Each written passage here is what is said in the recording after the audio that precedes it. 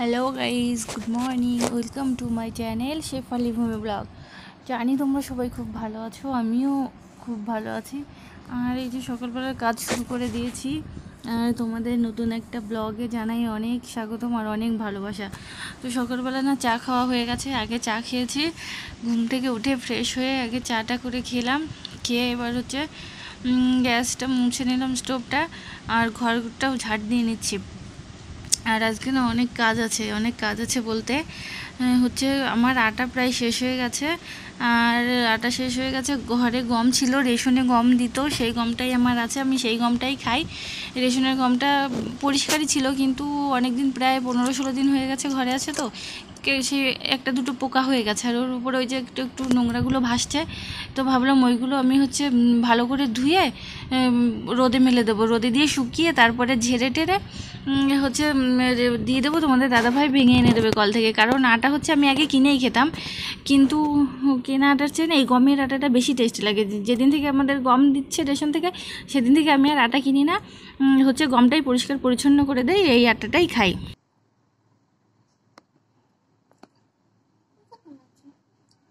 তোমাদের সামনে অনেকক্ষণ কথা বলি না, অনেকক্ষণ বসি না, ভাবলাম পরেই গল্প করব। আগে হচ্ছে বাইরের কাজগুলো কমপ্লিট করি।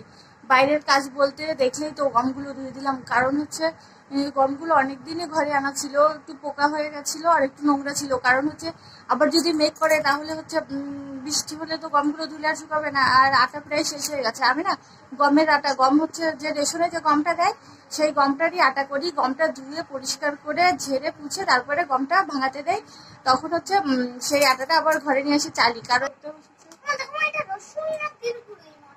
ওইটা হচ্ছে দীর্ঘ ময় দীর্ঘ হ্যাঁ হ্যাঁ। তো ওরকম কাজগুলো তো কমপ্লিট হয়ে গেল, তো মেয়ের তো স্কুল ছুটি আছে, তো একটু বই নিয়ে তো বসাতেই হবে।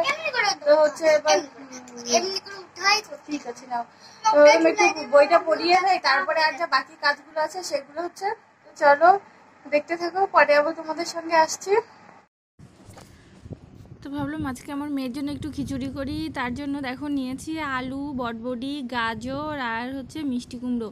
আর এদিকে চাল ডাল ধুয়ে রেখে নিয়েছিলাম। আর দেখো প্রেশার কুকারে রান্নাটা করব। প্রেশার কুকারে তেল দিয়ে, তার মধ্যে পাঁচফোড়ন দিয়ে, আলু আর চাল ডাল একসঙ্গে দিয়ে আমি কিছুক্ষণ নাড়াচাড়া করে নেব। নাড়াচাড়া করার পরে হচ্ছে নুন আর হলুদ দেবো।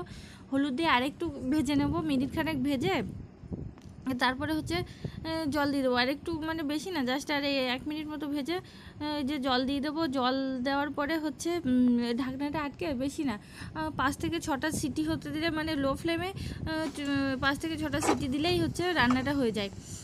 আর এই দেখো, আমার রান্নাটা এখানে হয়েও গেছে, কারণ প্রেশার কুকারে তো বেশি সময় লাগে না। পাঁচ থেকে ছটা সিটি দিলাম, রান্না হয়ে গেল। আর হচ্ছে খিচুড়িটা আমার মেয়ে খুব একটা ভালো খেতে চায় না, পছন্দ করে না, তবুও খিচুড়িটাই আজকে রান্না করলাম। আর এই দেখো, খিচুড়ি রান্না নিজে হাতে তো এমনিতেও তো খাই না, আর এই খিচুড়ি রান্না করলাম বলে আরও নিজে হাতে খাচ্ছাই না। আমি এই যে খাইয়ে দিচ্ছি বাবুকে, তবেই খাবে, তাও না পুরোটা আজকে খেলো না আমার মেয়েটা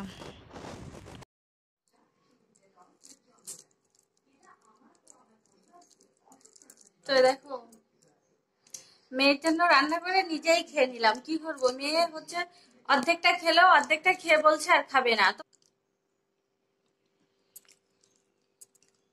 বলছি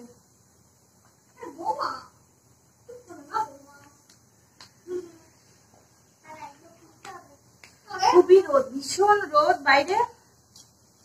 আর এই গম আজকে গম ধুয়ে দিলাম, মনে হচ্ছে যেন রোদটা আরও বেশি হয়েছে। আর এই রোদে বাইরে বারে বারে যাওয়া আসা আমার জীবনটা আজকে শেষ হয়ে যাবে। আর এখনও অনেক কাজ বাকি। রান্না বান্না, কি সবজি কাটবো কিছুই কাটিনি, এখন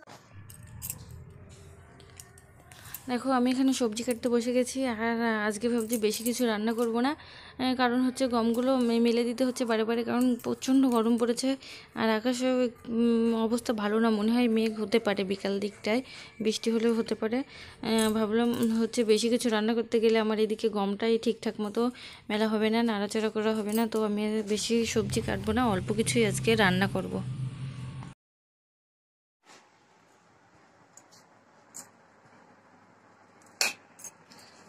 তো দেখো, এতক্ষণে স্নান করার টাইম হলো, এতক্ষণে স্নান করে এলাম।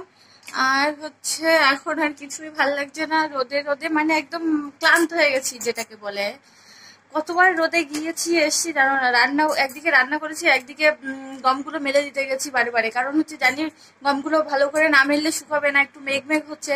আর যদি ভেজা থাকে, তাহলে পোকা লেগে যাবে, গন্ধ হয়ে যাবে প্লাস পিঁপড়ে লেগে যাবে। আর আটাও ভালো হয় না, যদি দেখেছ?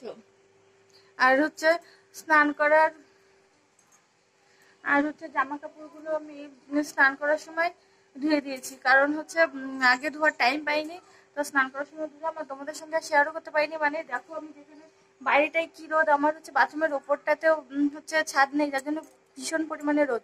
আর গমগুলো এখন অমনই থাকবে, গমগুলো হচ্ছে ওরকমই থাকবে। এই দেখো, এখানে হয়েছে ডিমের ঝোল। ডিম হচ্ছে আমি একটু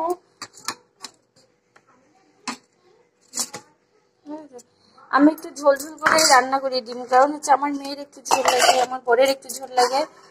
আর এখানে করেছি ভেন্ডি ভাজা। আর এটাতে আছে মিষ্টি কুমড়ো ভাজা আর হচ্ছে হাঁড়িতে ভাত। দুপুরবেলা খেয়ে দিয়ে একটু শুয়েছিলাম, আর এদিকে এত পরিমাণে মেঘ করেছে, সে বলার উপায় নেই, যেই আমি উঠেছি, উঠে দেখি সারা আকাশ মেঘে ঢেকে গেছে তো আমি তাড়াতাড়ি করে গমগুলো আগে তুলে নিলাম। কারণ হচ্ছে পাঁচ মিনিট দেরি হলেই এই হয়তো গমগুলো আমার বৃষ্টি বৃষ্টি না হলেও ঝড়ে অর্ধেকটা উড়িয়ে নিয়ে পালাতো। কারণ খুব জোরে হাওয়া দিচ্ছিল। যার করে আমি উঠে তাড়াতাড়ি গমগুলো আগে তুলে নিলাম। বাইরে আরও জামা কাপড় ছিল থালা বাসন ছিল। তো জামা কাপড়গুলো তোমাদের দাদাভাই তুললো। আর আমি গমগুলো হচ্ছে তুলে নিলাম। এত পরিমাণে মেঘ করেছে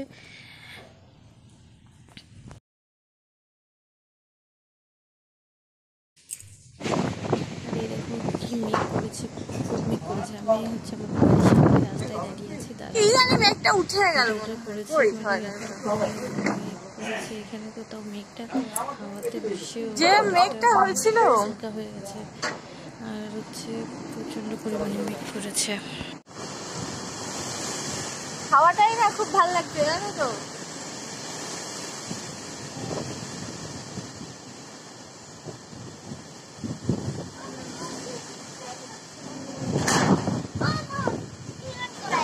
চলো।